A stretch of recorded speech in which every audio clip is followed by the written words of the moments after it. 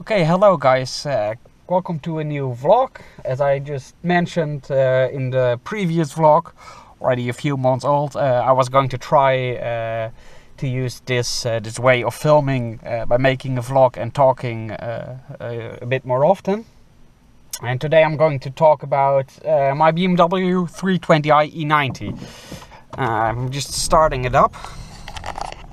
You can see it already has reached uh, point, I don't know if you can see it very well, uh, where I drove it for 282,000 kilometers. Fun fact, after driving this car for almost four years, I just recently found out by pushing this button, I can automatically fold and unfold the mirrors. So you're driving a car for four years and never uh, noticed that before.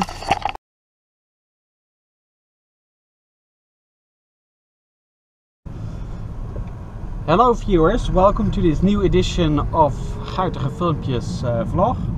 Going to do a car talk today about my BMW 320i E90 which has done about 228,000 kilometers and uh, is going to is showing its age uh, currently. So I'm just considering what are my options and what am I going to decide to do? Drive this car buy another car or maybe get a different uh, or get a company car. Okay let's go. Uh, I've been driving the BMW 320i as a main car for about one year now and it was never destined to be uh, my main car. I always used it for shorter trips and only drove it about 20,000 to 25,000 kilometers each year well, uh, a few things changed. I uh, got a different job and that turned out to me that I didn't use the 320i uh, as a second car anymore, but used it as my main car. Which means that for the past year I drove about 40,000 kilometers uh, with this car. And as it's a petrol car, it's quite expensive to run fuel-wise. But due to its age, you can also see that it's uh, I have to substantially invest in uh, maintenance to keep this car running. To give you two examples, last year at 177,000 kilometers I had to replace the valve seals. It's uh, a known issue on all these car types of cars. I know for sure on the four-cylinder engines of BMW that you have to replace the valve seals at one point and I think also the six uh, cylinders have the same problem but I'm not sure if you have any experience on these six-cylinder engines, petrol engines from BMW with the valve seal problems, please just let me uh, let me know in the comments. Anyhow, I replaced the valve seals last year. Uh, it cost me 1200 euros to do so. And the next big thing was this year at I think it was 3000 kilometers ago, so at 225,000 kilometers uh, the ABS sensor on the rear axle uh, well broke or went nuts.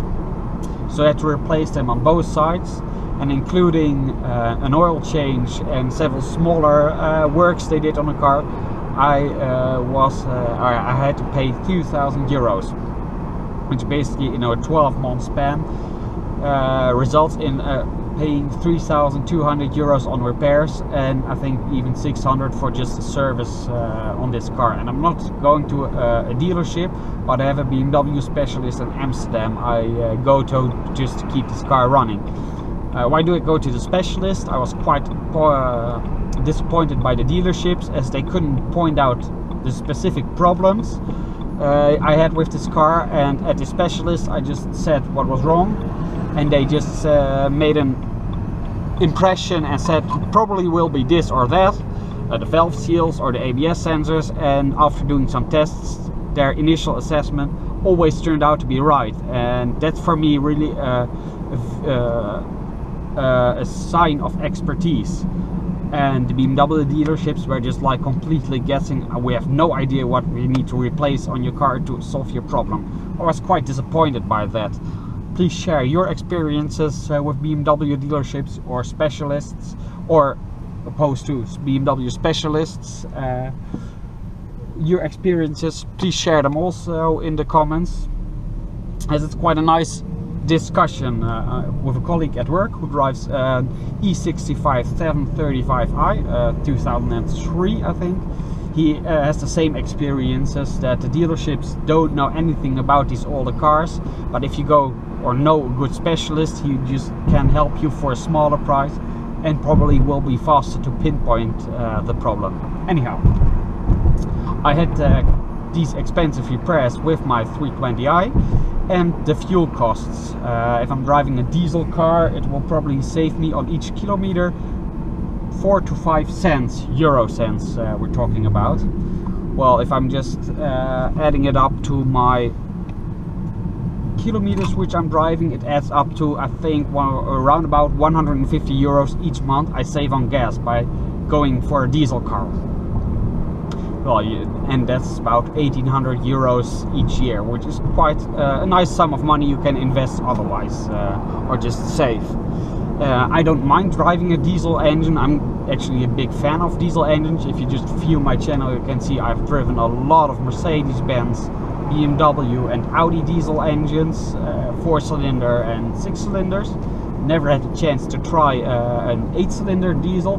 No, that's not true. Years ago I drove an Audi A8 4.2 liter TDI and that's uh, a V8 diesel but anyhow um, these costs uh, made it not a viable option for me to drive my 320i anymore uh, for at least the long distances I'm doing. I'm just driving in total 40,000 kilometers each year for my uh, uh, for work and about 10 to 20,000 privately and if I'm going to continue driving this on the 320i I'll just only incur higher maintenance costs and still have the high petrol costs which I wish to avoid.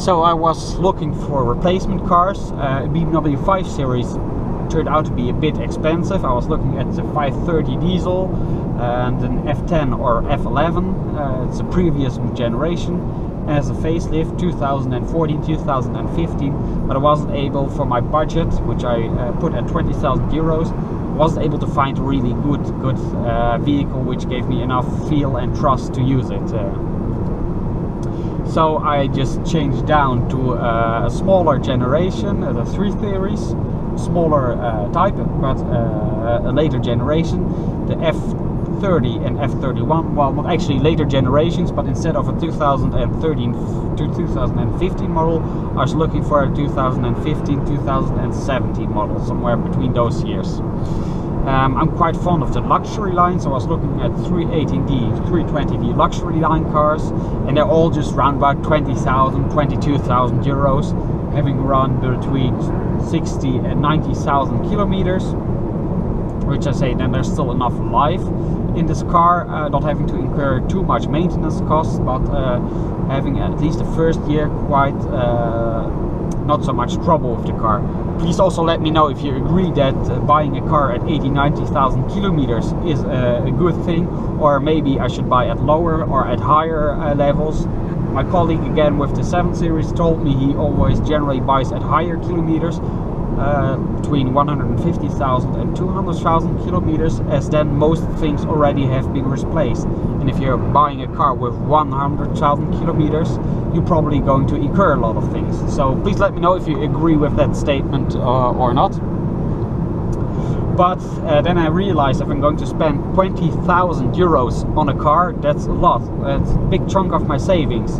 And having to save the same amount up again will probably take me some time I'd rather have the money and not spending it but if something turns wrong in your life you lose your job or you have to incur big expenses around your house I'd rather have the money instead of having a car and having no money and running into problems uh, so having uh, uh, a decent fairly decent amount of savings it's not much. I mean 20,000 they're gone uh, can be gone for quite fast gives me a good feeling even without spending the money. So I actually the second option the first option being driving my 320i that isn't viable anymore but I rejected the second option also of buying myself uh, a car for 20,000 euros a new car. So I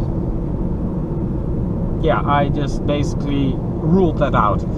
But I still have to drive uh, so uh, we have at our company uh, a special forum, and in this forum, people can uh, that want to get rid of their lease cars because they want to change the car before the lease contract runs out, or for whatever reason want uh, want to get out of their lease contract. It's a business contract, but you're still as an employee employee responsible for it. Uh, we have this, this, special forum where people can share these uh, these cars uh, and offerings, and I'm always as a car enthusiast just scrolling around uh, on it, but I always wasn't that fond of the cars that were offered there. A lot of French cars, Renault, Peugeot, and those aren't my type of cars. But being faced with not wanting to buy uh, a different uh, BMW car, I was looking at what are the options for taking over a company car. Um, I'm going to tell you why I want to take over a company car uh, instead of getting myself a new company car in a moment. But uh, I was scrolling through the forums and um, I basically have this uh, idea based on the car my girlfriend drives. She drives a 2013 Volvo V40 D2 Summum. I'm going to do a video on this car somewhere later, but please don't pinpoint me on it. I'm quite short-handed on time. Uh, so please don't uh, pin me down on when I'm going to release a video on it. I'm showing you a picture of this car uh, now but this car has the D2 diesel engine. It's a 1.6 liter uh, four cylinder diesel engine with I think it's 168 116 HP and I've been driving it this year for about 5,000 kilometers in uh, that car uh, always when we're going to drive together we're using uh, her car her car because it's a diesel car and it drives a bit cheaper than my 320i and I noticed that uh, having uh, in this type of class of car uh, having 116 HP isn't a lot but it's sufficient uh, and it's quite okay to drive so when I was browsing through our company forums I found uh, a colleague was offering his 2017 BMW 116D Efficient Dynamics Edition uh, up for taking it over and looking at the car it has sufficient options um, it has uh, sport seats, uh, uh, a leather steering wheel, the M steering wheel. It has uh, the M gear shift lever, uh, automatic climate control, sat nav, Bluetooth, LED headlights. Uh, parking sensors front and rear I just thought okay it looks quite nice option wise and having about 110 120 HP in this type of car in this class is sufficient so uh, I went to do the paperwork and uh, next week or in two weeks I'm going to take over that BMW 116D EDE. Uh, but now I'm going to answer your question uh, why take over this car instead of configuring myself uh, one myself. Uh, at my company you're responsible for your lease car if you're going to take out a contract for four years and if I'm now going to take out a contract for four years it's just too long um, especially as our leasing policy uh, leasing policy will be reworked but it's not known yet when exactly it will be reworked. It can take three months but it can also take 12 months. And this BMW I'm taking over has a contract that runs until January of 2021 it's about 16 months. So where does that leave me? It's a nice stopgap. I can either wait for our new leasing policy, which probably will be known by then, um, and then act accordingly to it. Maybe get a different uh, leasing car, a different company car, or I can just save up some more money for about one and a half years. So uh, I can still buy. Uh, then uh, by then I buy a 2017 or 2018 BMW F30 uh, 3 Series F30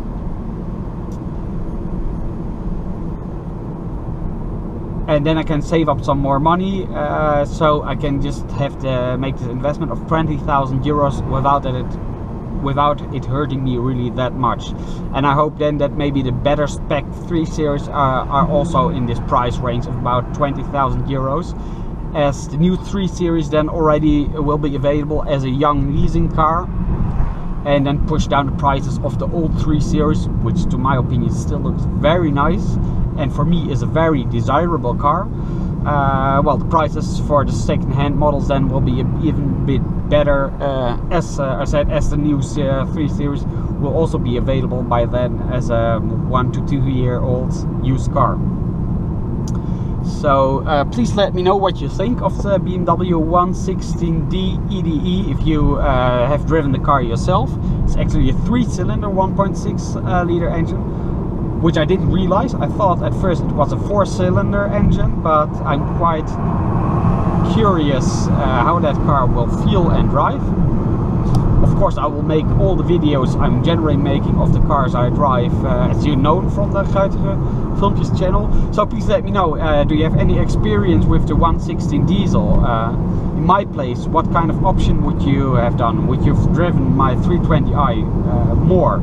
Would you have driven uh, or bought uh, a 320D or 318D for 20,000 euros or would you have also chosen the option for uh, driving uh, the BMW 116D EDE so taking out a company car. Just please let me know what of uh, option you would have, have taken. Still uh, leaving you with one question I haven't answered yet what's going to happen with my 320D 320i E90 the car I'm currently driving and which I'm still enjoying a lot, uh, especially from the options uh, it has. It has the seat heating, the uh, sunroof it has, um, and it just, just still drives very nice. I just enjoy driving this car so much. And there's also the hi-fi system, which I enjoy a lot. Always when I'm even driving, driving modern cars with just a standard sound system, being it Mercedes-Benz or Volvo, I still notice a difference that this, this upgrade really is worth its value. Anyhow, what am I going to do with this 320i? Um, my uncle, uh, somewhere way back in the early 70s, bought his uh, BMW 2002. He drove it for a couple of years and then gave it to his wife to drive it for uh, more years. And then he uh, never sold the car but uh, having a big company with warehouses he just put it in a warehouse just stripped the car down uh, down to bare metal uh, welded it but never put the car back together. So I, as a small kid I would just run around in the warehouse playing and I just remember the carcass of this car standing there. And about 15 years ago uh, he found a time to and I think he didn't do it himself but he had someone to restore the car. And uh, it's now a really nice looking old-timer I'll just uh, put in here some pictures of it next to my 320i in the line of heritage there of course like the, the great great grandfather and the grandson. And my uncle not only can say from uh, I used to own exactly the same car 40 years ago but he can say this was the car I owned 40 years ago. And that inspired me uh, regarding the 320i because my plan is to keep, uh, after I receive the company 116D, to keep the 320i, not to pay taxes on my uh, 1 series, uh, so not to drive it privately, and use the 320i to drive privately, so about 5,000 to 10,000 kilometers each year. That leaves me uh, with Ach, leck mich doch am Arsch hier that leaves me with the positive side effect that I don't need to pay taxes and I can still keep this car to drive it privately but not to drive that many kilometers on it that I have to maintain it or I have to pay a lot of maintenance costs on this car. And my grand master plan is to some uh, time when I have my own garage and everything to restore this car again. Uh, and then I can tell my children uh, or uh, friends from when I was young this was my first BMW and it was exactly this model and this uh, this this example uh, of course because if I sell this car I'll never get this back I can buy a lot of other E90s probably even with the same options same colors as this one but I can never buy my first car again so my uncle actually inspired me to, to keep this car as I it's only worth maybe two, three thousand euros. which isn't that big uh, a big uh, that uh, big amount of money to to keep. So uh, no, my plans with this cars are to keep it and then uh, keep it next to my 160D. So please also let me know what you think of this idea, just to keep it next to my uh, 116D and to restore it some uh, someday in the future. Do you think this uh, the E90 will also at one point turn out to be a classic car and have this special status? So please let me know what you think about uh, all these subjects uh, in the comments and then we can have a discussion about it. And as well in the next vlog not sure when I'm going to take that one up I'll be talking to you about the Volvo V40 of my uh, girlfriend and what I think about that car. Okay thank you for watching and enjoy your evening